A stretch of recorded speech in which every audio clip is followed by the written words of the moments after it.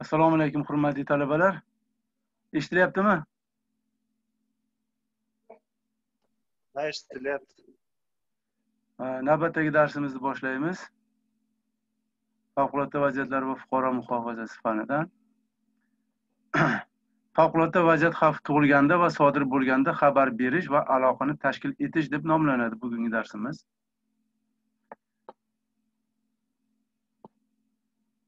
Favqulodda vaziyatlar sodir bo'lganda o'z vaqtida xabar berish e, juda katta ahamiyatga ega bo'ladi. E, bu signal signali berish, aholini ogohlantirish turli xil usullar bilan amalga oshiriladi. Amalga oshiriladi. O'quv savollari aloqa vositalari va xabar berish tizimining asosiy vazifalari va ularga qo'yilgan talablar. Ikkinchisi favqulodda vaziyatlar davlat tizimining har bir darajasida aloqa va xabar berishni tashkil etish. Uchinchisi xabar berish signallari va ularga binoan aholining xatti harakatlari. Mana rasmdan ko'rib turganingizdek turli aloqa vositalari bilan xabar beriladi. Ommaviy axborot vositalari radio televideniye undan keyin telefon yozma varaqalar e'lonlar. Juda borish qiyin bo'lgan joylarga favqulodda vaziyatlar sodir bo'lsa aloqa vositalari uzilib qoladigan bo'lsa texnikalar orqali tog'li joylarda e, yo'llar bekilib qolsa e, hattoki piyoda otliq mana shunday e, xabar berish e, xizmatlari yo'lga qo'yiladi. Birinchi navbatda o'sha aholini ogohlantirish e, ularni hayotini saqlab qolish maqsadida.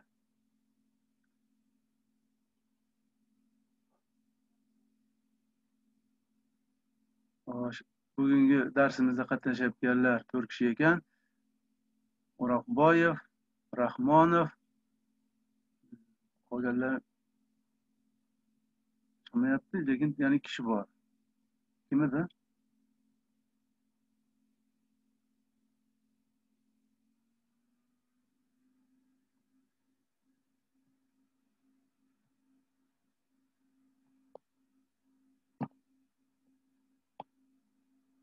zal ожидания принято все deymiz yana safimizga qo'shildilar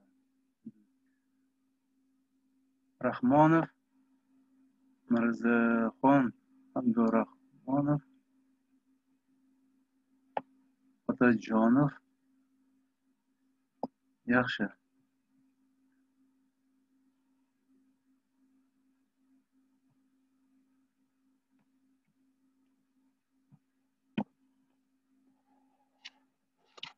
Qo'shimcha o'rganaman deydigan adabiyotlar bor. O'sha modulda ichida yozib qo'yilgan. Undan o'rganishingiz mumkin. Bu aholiga xabar berish har bir rahbar xodimni vazifasi sanaladi.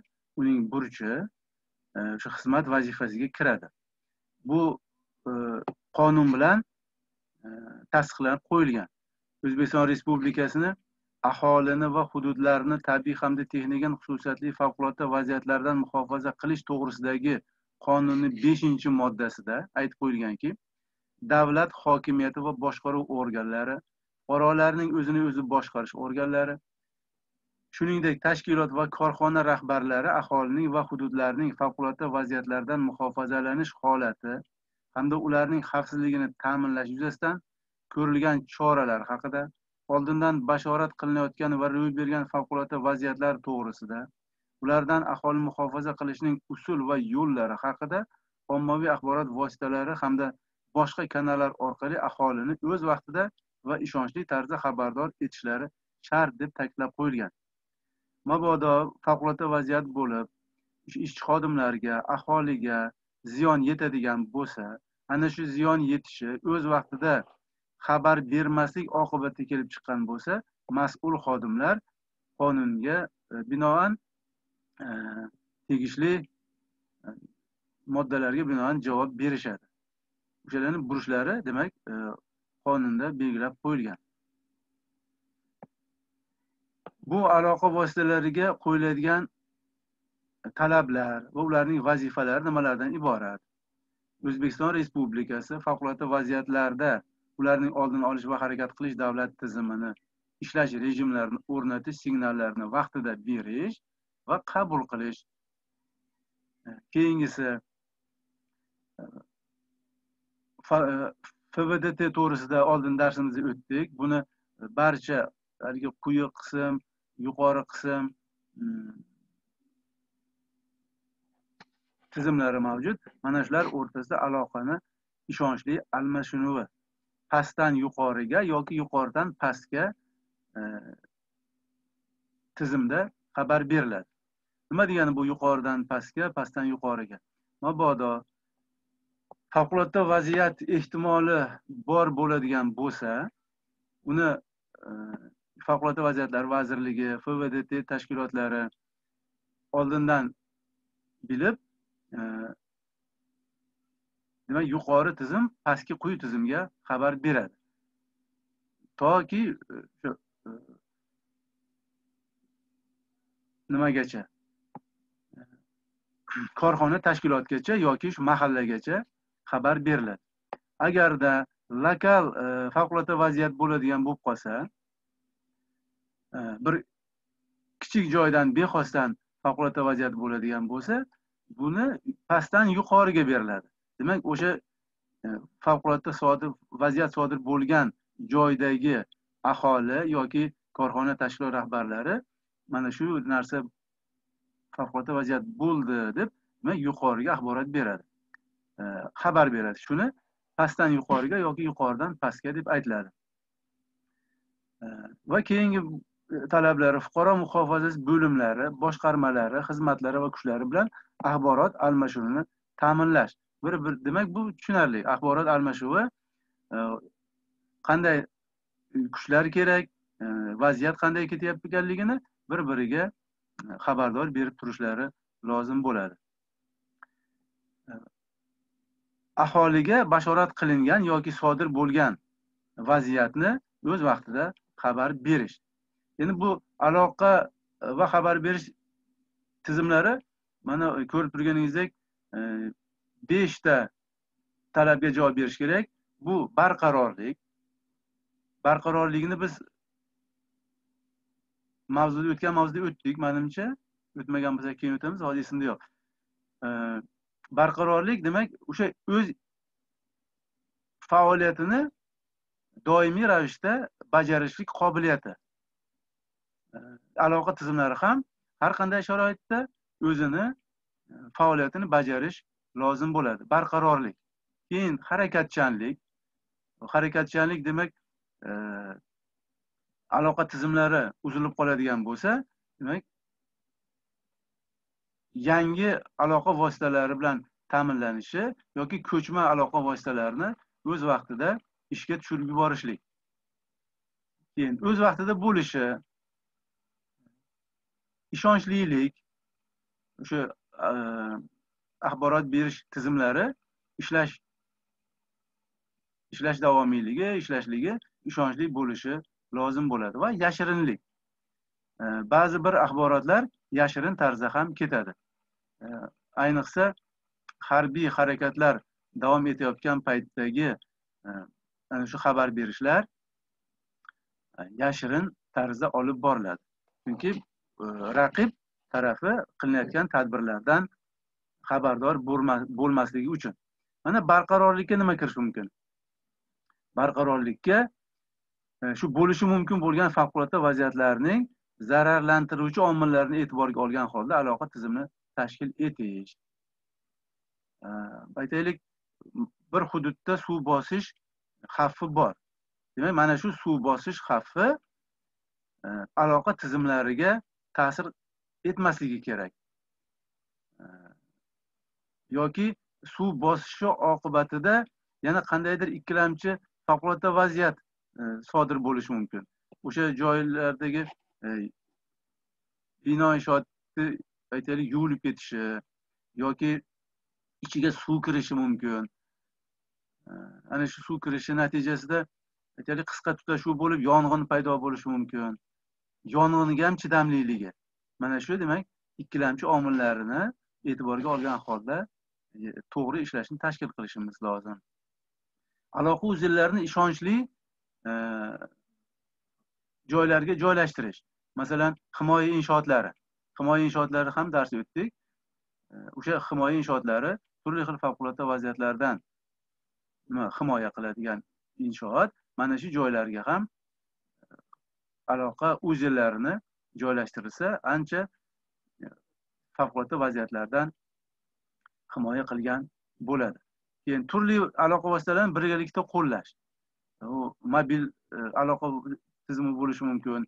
Simlik aloqa tizimi radio televideniya xo'sh transport orqali haligi ovozni kuchaytirib berish mana bularni e, birgalikda qo'llash.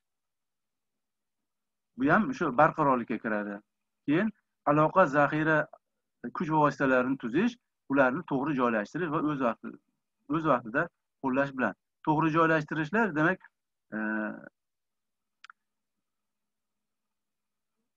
o'sha aloqa uzatish joylari mos kelishi kerak. Aytaylik aholi yashash punktlarini markazlariga va o'sha e, ovozni kuchaytirib beruvchi aloqa tizimi o'rnatilgan bo'lsa o'sha ovoz yetadigan joygacha va yetmay o'sha e, yetgan joyidan u yog'iga eshitmaydigan bo'lib qolmasligi kerak. Yana demak qaysi radiusda qaysi radiusgacha ovoz boradigan bo'lsa yana shuncha masofaga e, boshqa aloqa vositalarini o'rnatish to'g'ri joylashtirish. Harakatchanlik harakatchanlikka Э, hali haligi aytib o'tdik э, ko'chma aloqa vositalarini o'rnatishda demak qulaylik yoyish e, qismlarni vaqtida yig'ish yig'ish vaqtini kamaytirish o'rnatish vaqtlarini kamaytirish. Keyin aloqa kuch vositalarini to'g'ri joylashtirish va zaxiralardan to'g'ri foydalanish. Aloqa kanallari kuchlari va vositalar bilan tezlikda harakat bilan ish boshlash. Aloqa tizimini tezlik va barqarorlik barqaror boshqarish e, bilan erishiladi. O'z vaqtdaligi o'z vaqtdaligi tezkor va barqaror ishlashi aloqa tarmoqlarini boshqaruv punktlarida avvaldan o'rnatib ishga tayyorlab qo'yish bo'yicha tashkiliy va muhandislik texnik tadbirlarni o'tkazish. E, buning uchun oldindan e, trenirovka ishlarini mashg'ulotlarni o'tkazib borish kerak. Zudlik bilan qanday o'rnatishga o'rnatishligi va o'shanda kamchiliklar bo'lsa e, yoki qandaydir mm, ishda to'xtab qoladigan e, joylarda qo'shimcha chora tadbirlarni ko'rish bilan amalga oshiriladi. O'zaro axborot almashinish va ko'rsatuv olib borish bo'yicha qabul qilingan qoidalarga amal qilish. Uzilayotgan axborotlar hajmi so'z jihatdan kam va ma'no jihatdan tushunarli hamda farmoyish va xabarlarni bir qolipga solish. Demak vaqtdan yutish maqsadida e, so'zlar kam lekin ma'no jihatdan tushunarli qilib xabarlarni tayyorlash kerak. Bu oldindan tayyorlab qo'yiladi. Favqulodda vaziyat sodir bo'lishdan oldin ehtimoli bor bo'lgan favqulodda vaziyatlarga oldindan ana shunday e, matnlar tuzib qo'yiladiki zudlik bilan zarur holatda o'sha e, diktorga bersa diktor qisqa vaqtda e, lo'nda qilib tushuntirib beradi. Aloqa tarmoqlarida tezkor texnik xizmatni aniq tashkil qilish va axborotlar harakatini qattiq nazoratga solish. Turli xil boshqa axborotlar ham ishga tushib ketmasligi haligi Э, raqib tarafdan yoki chalg'itish maqsadida boshqa axborotlar ham ishga e, tushib ketmasligi nazorat qilib boradi. Ishonchliligi o'sha qo'yilgan talablarni ichida ishonchliligi ham bor. E, Ishonchlilik ana shu texnik tizimni tavsiflarni oldindan bilish. Parametrlarni saqlab turish qabul qilingan parametrlarni o'ta muhim axborotlarni uzatish uchun yuqori sifatli kanallarni qo'llash. Bir paytning o'zida bitta kanal orqali xabarlarni qaytadan uzatish demak takror takror e, uzatib borish o'sha yetib borish ishonchliligi oshadi.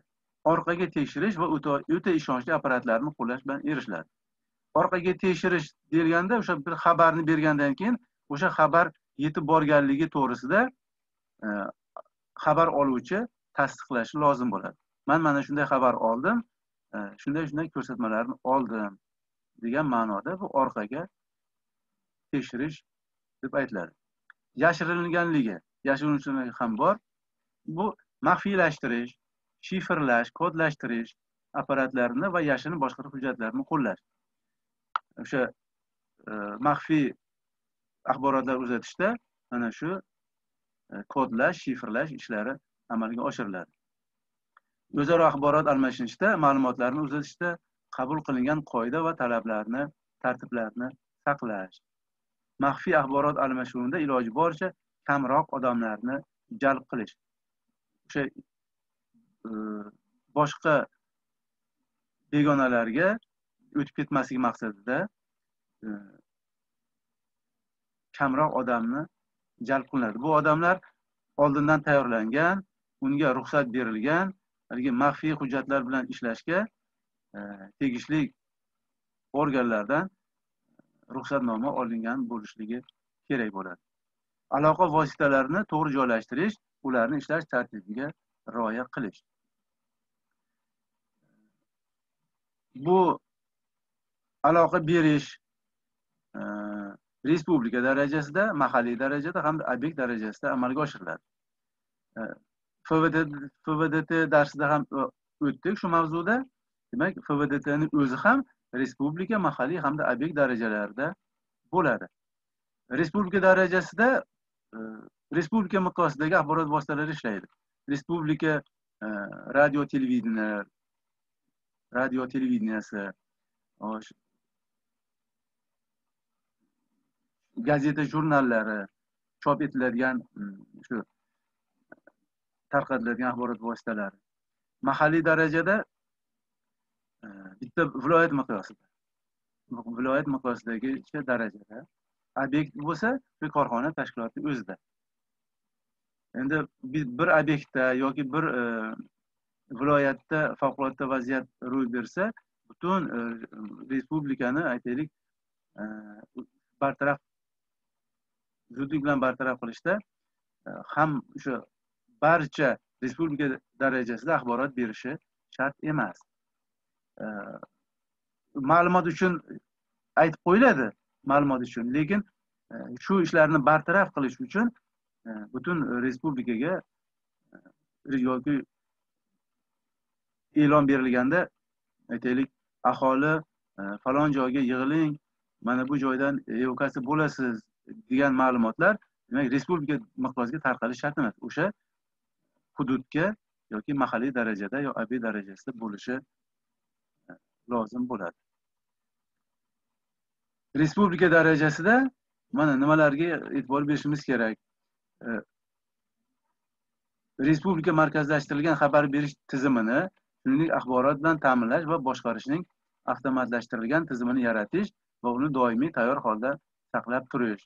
Aloqa radio televideniya va boshqa texnik vositalarning davlat va idoraviy kanallardan boshqarish va axborotni uzatish uchun markazlashtirgan holda foydalanishni ta'minlash kimyoviy va boshqa kuchli xavfli obyektlarda hamda ularga yondosh hududlarda xabar berish va axborotlarning mahalliy tizimini shuningdek suv omborining gidrotexnik inshootlarida signalizatsiya va xabar berishning mahalliy avtomatlashtirilgan tizimlarini loyihalashtirish va yaratishni nazorat qilish. Bular e, respublika darajasida mahalliy darajasida viloyat ichidagi aloqa va xabar berish tizimlarini e, tayyor holda shay holatda ushlab turish o'sha e, viloyat darajasidagi e, televideniya radiolardan foydalanish ularni dan foydalanishni ta'minlash yuzaga kelgan favqulodda vaziyatlar ularning rivojlanish ko'lamlari va kechishi yetkazishi mumkin bo'lgan oqibatlar ularni bartaraf etishga doir ko'rilayotgan chora tadbirlar to'g'risidagi axborotlarni xabar qilish to'plash va almashishni ta'minlash.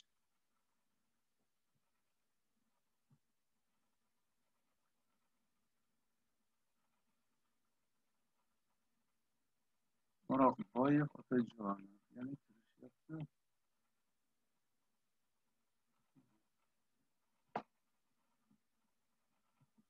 Yaxshi, davom etamiz. Obyekt darajasida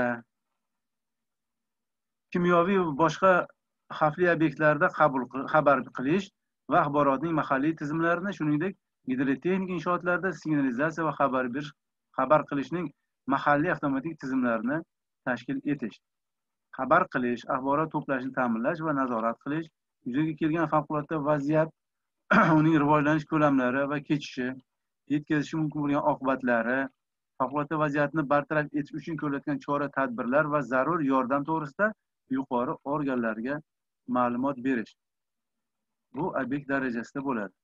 Mana xabar berish e, shu favqulodda vaziyatlar bo'limlarida mana bu texnik vositalardan foydalangan holda barchaga tarqatiladi.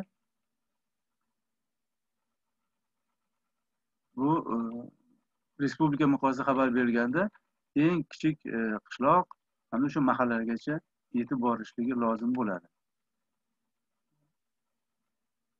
Turli xil aloqa vositalari orqali xabar berish. Ratsiyalar bo'lishi mumkin. Radio bo'lishi mumkin. Mana boshqa aloqa tizimlari zamonaviy kosmik aloqa tizimlaridan foydalanish mumkin. Radio releyli aloqa. Ultra qisqa to'lqinli diapazon elektromagnit to'lqinlar yordamida amalga oshiriladigan aloqa. Ko'chma aloqa vositasi. Mana ko'rib turganingiz e, o'sha buzilgan joylarda antennalar buzilsa borib o'rnatishib aloqani tiklash tiklab beradi. Aloqa uzatish e, vositalarining namunalari. Endi xabar berilgandan keyin aholi e, nimalarga e'tibor berish kerak? Birinchi signal olgandan keyin e, ularni harakati qanday bo'lishi kerak? E, diqqat hammaga degan signali bor. Sirena deyiladi. Sirena gudok. E, ana shu signal berilganda bu signalni nomi diqqat hammaga signali. Shu signal eshitilgandan keyin qanday ishlarni amalga oshirish qanday harakat qilish to'g'risida zudlik bilan e, radio televideniya yoki boshqa ommaviy axborotlar ommaviy axborot vositalarini eshitish lozim bo'ladi. U signal o'sha odamlarni diqqatini jalb etish uchun beriladi. Keyingi xatti harakatlar demak qo'shimcha e, ma'lumotlardan olinadi. Aholiga xabar berish bu yuzaga kelishi mumkin bo'lgan zilzila suv bosishi yoki boshqa tabiiy ofatlar haqida ogohlantirish bo'lib o'tgan avariya katastrofalar haqida xabar berishdir. Mana xabar berishni mana bunday e, usullari ham bor. Bu diqqat hammaga signalini tarqatadi. Baland imoratlarni e, yuqori qavatlariga o'rnatiladiki o'sha sirena e, signalini uzatib beradi. Bu e,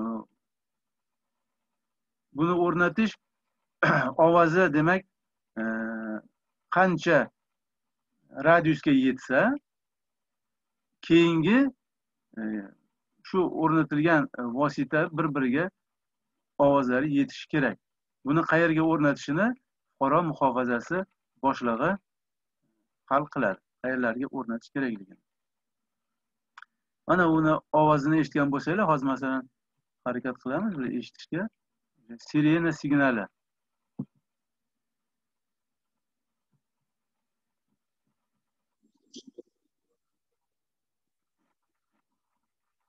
Mana shu joyda bor edi shu ovozni eshitish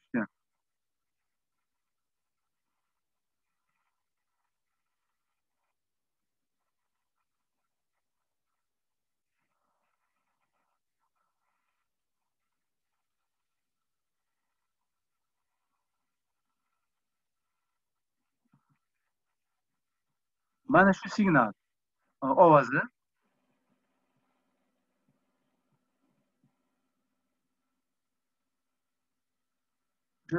Sirena signali eshitiladi. Har bir e, aholi yashash punktlarida mana shunday e, aloqa vositalari o'rnatilgan. Bu narsa qishloqlarda ham bor. Xabar berish aholiga tushunarli avvaldan belgilangan shartli signallardan sirena ovozi korxona va muassasalardan berilgan signallardan boshlanadi. E, bu signalni eshitgandan keyin demak e, barcha zavod fabrikalarda ham shunaqa gudok signallari bor ular ham jo'r ovoz bo'ladi. E, temir yo'lda lokomotiv e, lokomotivga ham qo'shimcha mana shu signallar chalinadi.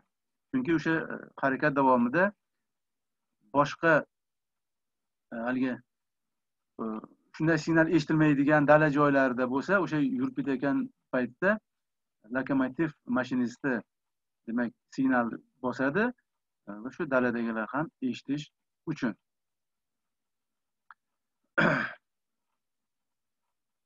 Radio eshittirish va televideniya respublika aholisiga xabar berish va ommaviy axborotni yetkazishning asosiy vositalari hisoblanadi.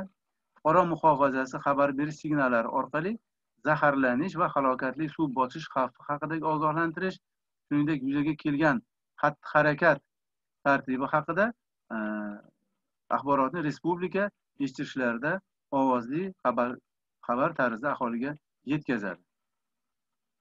Masalan o'sha diqqat barchaga signal bo'lgandan keyin ovozli signal e, ketadi. Buni diktorlar o'qib eshittiriladi oldindan tayyorlagan tekst bo'yicha misol uchun kimyoviy e, xavfli obyektda avariya sodir bo'lsa quyidagicha xabar beriladi.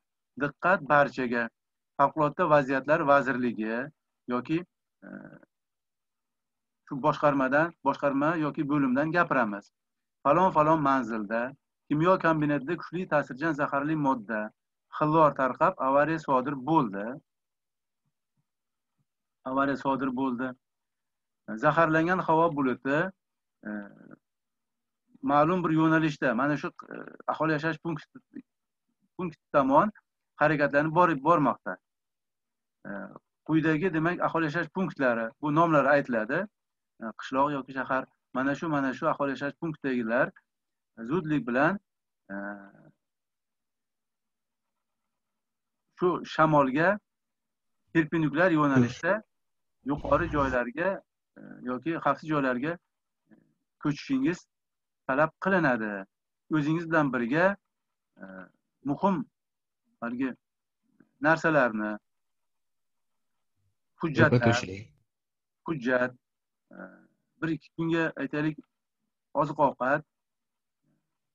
Agar himoya kiyimi bo'lsa himoya kiyimi shu bilan olib borishingizni so'raladi deb mana shu ovozli xabar tarqaladi.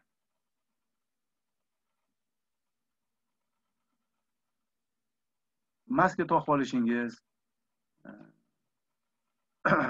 tashqariga chiqishdan oldin qo'llangan yoki ikki foizlik ichimlik soda eritmasi shimdirilgan paxtalik doka bog'ich e, maska olishingiz shart degan ma'noda xabar tarqaladi. Agarda ana shu Э, zudlik bilan э, havo zaharlansa bir avariya sodir bo'lib э, aholini evakuatsiya qilishni iloji bo'lmasdan o'sha aholi joylarda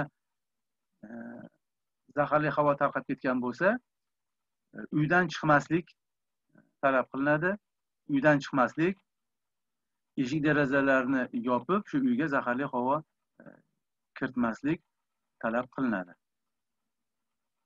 Uydan chiqsa shu tashqaridagi havoda zaharlanishi mumkin. To havo shamol o'tib ketguncha demak uydagi toza havodan nafas olish taklif qilinadi. Tezroq e, xabarlarni tarqatish uchun hali aytib o'tildik oldindan tekstlar tayyorlanib qo'yiladi. Bir qancha variantda e, o'sha favqulodda vaziyat ehtimoli bor joylarda. Qanday favqulodda vaziyat sodir bo'lishi oldindan bilinadi va o'shanga mos ravishda e, matn tayyorlab qo'yiladi. Aholiga ogohlantirish uchun. Bu to uni yozib diktorga berguncha vaqt o'tib ketishi mumkin.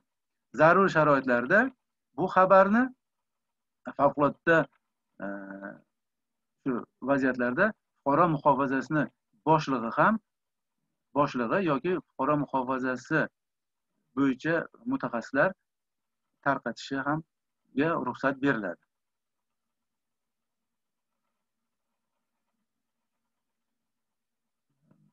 Nafaqat shu xabar berish e, tizimining eng muhim vazifalaridan unga ommaviy axborot vositalarini boshqaruv punktlarini e, mos apparatlar bilan jihozlash xabar berish matnlari yozgan audio va video tasmalari bilan avvaldan ta'minlab berish orqali erishiladi. Mana shunga haligi e, ishlar risoladagidek bo'lish uchun. E, mana shu xabar berish tizimi demak asosiysi shu vositalarni doimiy ravishda sozligini saqlash va o'z vaqtida aholiga xabar berish. Savollar bo'lsa marhamat. E'tiboringiz uchun rahmat. Mayli savol bo'lsa javob beramiz. Vaqtimiz tugab boryapti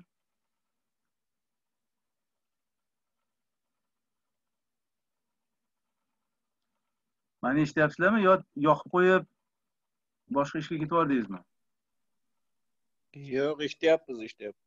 Ha yaxshi. Savollar bo'lsa bering bo'lmasa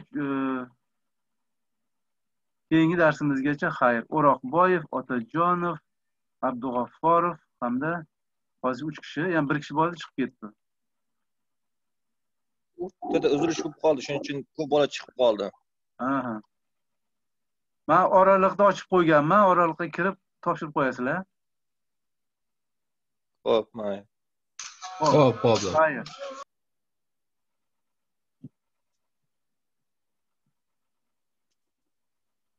Domla, labay ha, sizni nima Telegramdan gruppani qanday topsak bo'ladi? man telegramdan agar gruppa ochib man gruppa ochmadim lekin telefonimni beraman Ha, Telegram bor nomeringizni bering. unda- telegram bor nomerga o'sha yerga yozib oling nomerni Hop, hop. to'qson yettilik Aha. to'rt yuz oltmish to'rt Ikki Bo'ldi, bo'ldi. man bu mani hozir rasmim pastida o'g'limni nomi turibdi. Man o'zgartirmasdan kiribman yana Hop, hop. Hop, rahmat. Mayli.